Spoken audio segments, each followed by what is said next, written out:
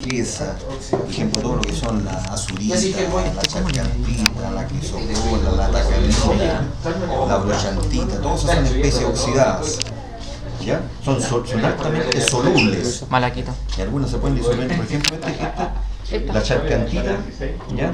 Es parecida a esta especie de sulfato de cobre, ¿ya? La charcantita mineralógicamente tiene la misma textura de esto.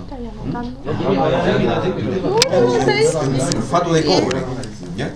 Entonces ahí está la zona lixiviada y después la viene la zona oxidada, oxidada, que vendría siendo como una zona mixta. acá. Entonces aquí es donde encontramos esto. ¿no? Y os presenta ahí Es falerita. Aquí están sulfuros de cobre y óxidos de cobre. ¿Ya? Óxidos.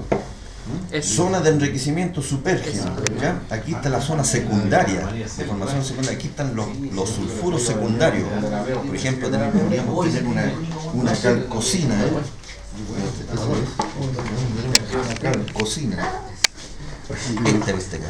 Esta que está aquí media promisa, esa es lo que se llama la calcocina, es un sulfuro de cobre. Este no tiene fierro, es un sulfuro de cobre.